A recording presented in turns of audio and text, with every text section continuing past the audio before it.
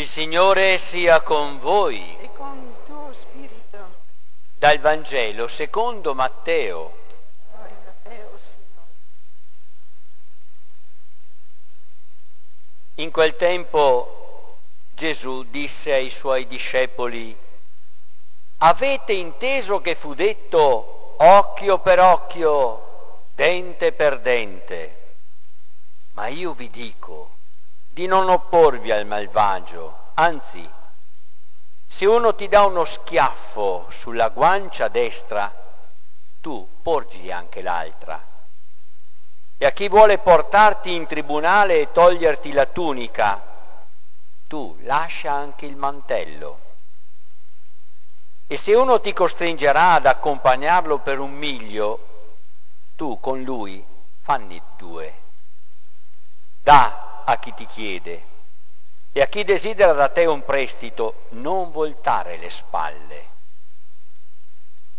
Avete inteso che fu detto amerai il tuo prossimo e odierai il tuo nemico. Ma io vi dico, amate i vostri nemici e pregate per quelli che vi perseguitano, affinché siate figli del Padre vostro che è nei cieli. Egli fa sorgere il suo sole sui cattivi e sui buoni e fa piovere sui giusti e sugli ingiusti.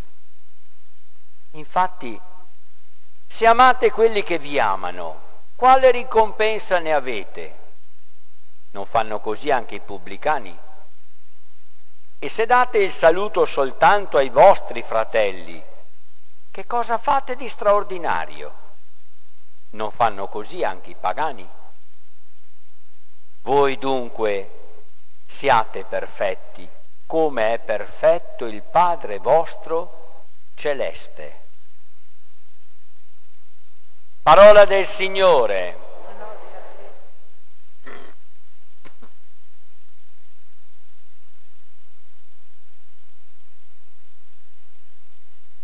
Ritorniamo sul monte, dai. C'eravamo già la settimana scorsa e l'altra prima e l'altra prima. Sono ormai alcune domeniche che Gesù ci ha portato là sull'alto del monte, ma non per fare una passeggiata qualsiasi. La sua autorità, sottolineo, autorità. E sapete che autorità vuol dire cresci caro, dai ti faccio crescere io. Non è potere che domina. Ebbene la sua autorità è completamente in gioco e ci sta dicendo il cammino per crescere. Aveva già cominciato domenica scorsa dicendo vi è stato detto, ma io vi dico, sono le conseguenze delle beatitudini. E quattro volte ha detto questo, ne mancano altre due, eccole qua, quelle di stasera, forse le più radicali. Credo che ascoltando alcune persone hanno cominciato, ho detto un po' volgarmente all'inizio della messa, a sentire i sassi che pungevano e credo che qualcheduno se ne sia andato. Magari può essere anche per noi, eh? Perché qua è in gioco la nostra proposta, anzi la proposta cristiana e la nostra esperienza di fede cristiana.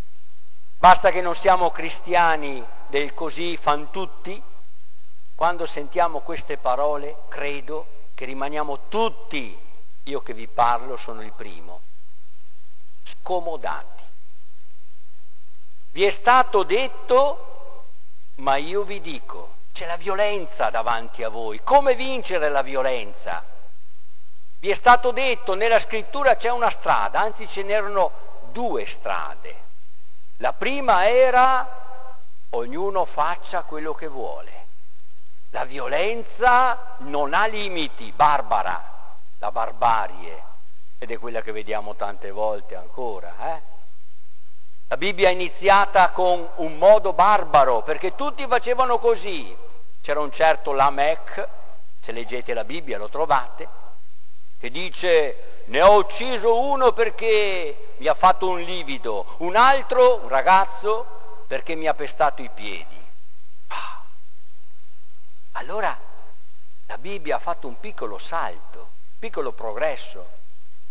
Basta questa barbarie, la legge del taglione, occhio per occhio, dente per dente. E diciamo, mamma mia, a questo punto, eppure era un grande avanzo. Era proprio non fare di più di quello che ti è stato fatto. Ti hanno tagliato un piede, taglia un altro piede. Ti hanno tolto un occhio, togli un altro occhio. Perché bisogna rispondere alla violenza con la violenza. La Bibbia arriva a questo, Antico Testamento. Ma Gesù dice, è questa la strada? No, cari, vi è stato detto, ma io vi dico, ecco l'autorità di cui vi parlavo prima. Volete crescere? Volete crescere in un modo differente? Dopo vedremo qual è la fonte di questa crescita. Vi è stato detto, ma io vi dico. E allora io vi dico si proprio declina con degli esempi concreti. Se uno ti dà uno schiaffo sulla guancia destra, tu porgili anche l'altra. Guardate che Gesù non è stupido. Vi ricordate? Quando l'hanno percosso, nel giorno quando è stato preso, Gesù è stato percosso sulla guancia, non mi risulta che ha posto l'altra guancia però ha risposto in un modo nuovo, sorprendente. Non vuol dire sì stupido.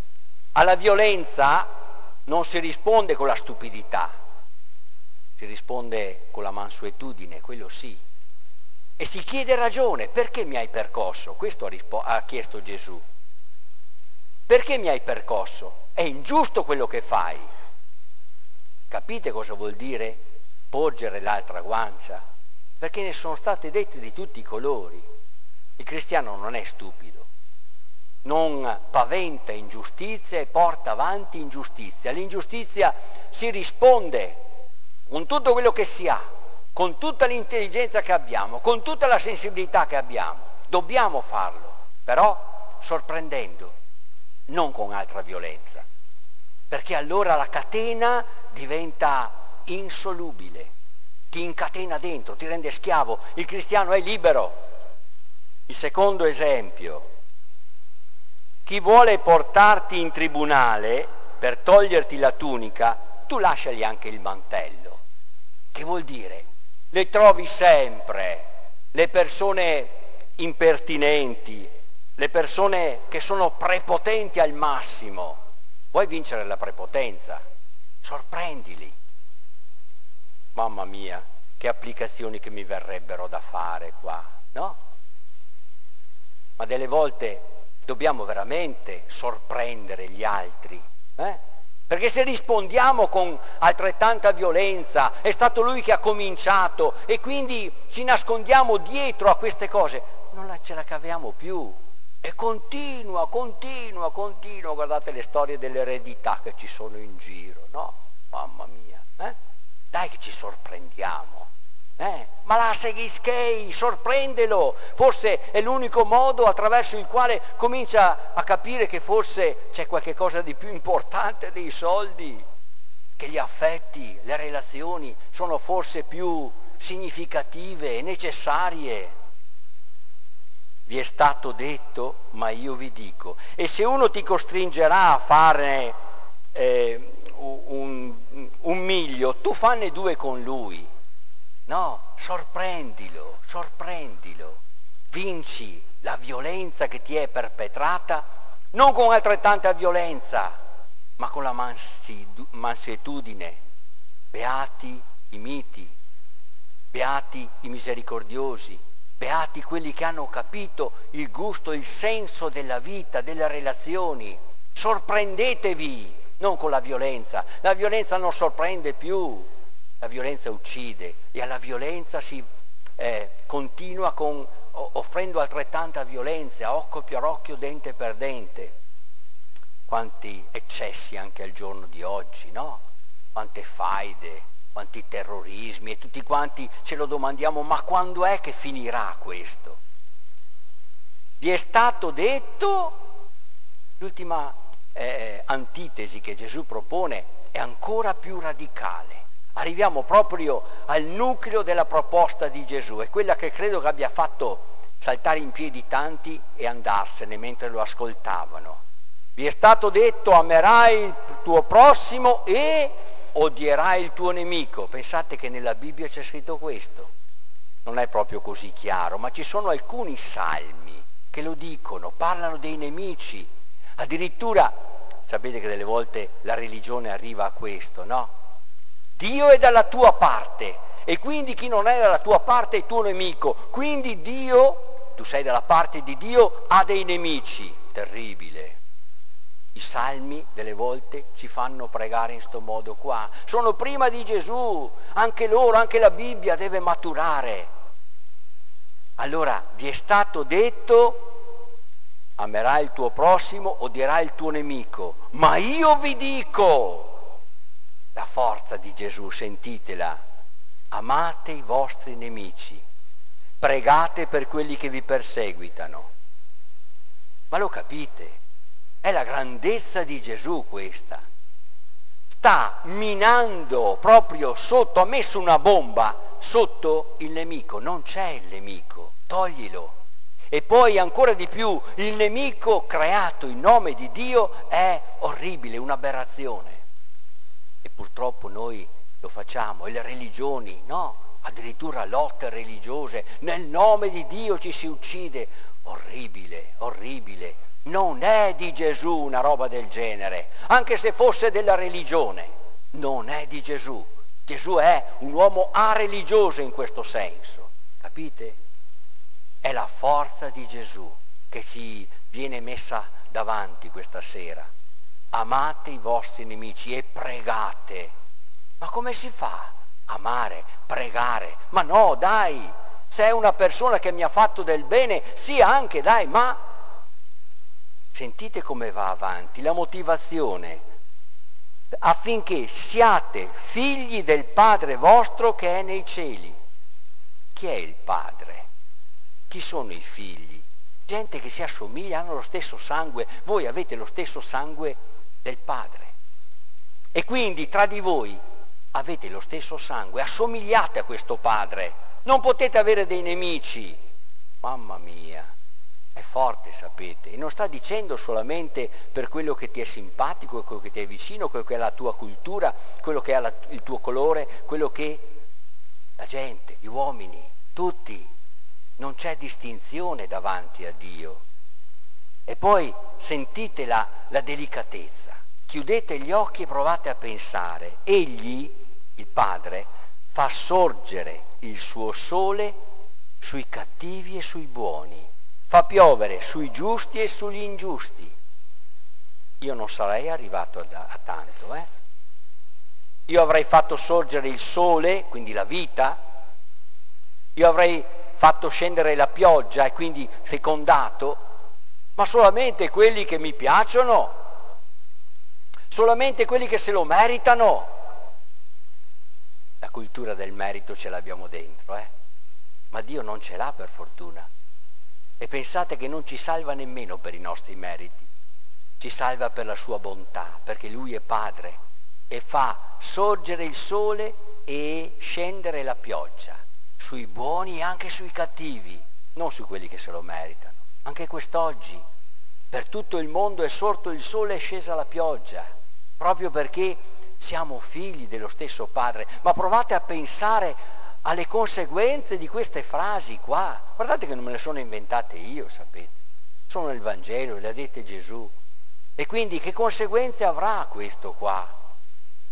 Provate a pensare a tutto il discorso degli immigrati, tutto quanto. C'è, c'è, c'è, c'è dentro qua, eh? Sì, sì, lo so, problemi grandissimi, però non dimentichiamoci la radice cristiana Ve l'ho detto, tanti si saranno alzati sentendo queste parole là sul monte perché si sentivano i, i sassi che pungevano il sedere e se ne sono andati. Noi non ce ne andiamo, però ci lasciamo veramente toccare. Questa fa, è la differenza cristiana questa qua, o dovrebbe essere la differenza cristiana. Termino perché altrimenti vi porto via troppo tempo. Sentite come termina. Bellissimo.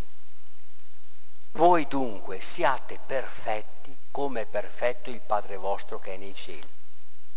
Aveva detto la prima lettura, siate santi. Era già una cosa bella, eh? la santità. Ma Gesù non ha mai parlato di santi, mai. Ha parlato di perfezione, che vuol dire siate completi in questo amore. L'altro evangelista, questo è Matteo, l'altro evangelista nel brano eh, diciamo parallelo dice siate misericordiosi porta la perfezione alla perfezione, che è la misericordia. Siate misericordiosi, abbiate un cuore di miseri, di poveri, un cuore come ha Dio. Dai, cosa aspettate? So che è difficile, so che ci mette in subbuglio, ma non dimentichiamoci perché questa è la radice del nostro essere cristiani. Eh? Siamo proprio alla qualità superiore che fa la differenza, altrimenti sì, sì, va bene, una bella religione, ma mm, niente di più.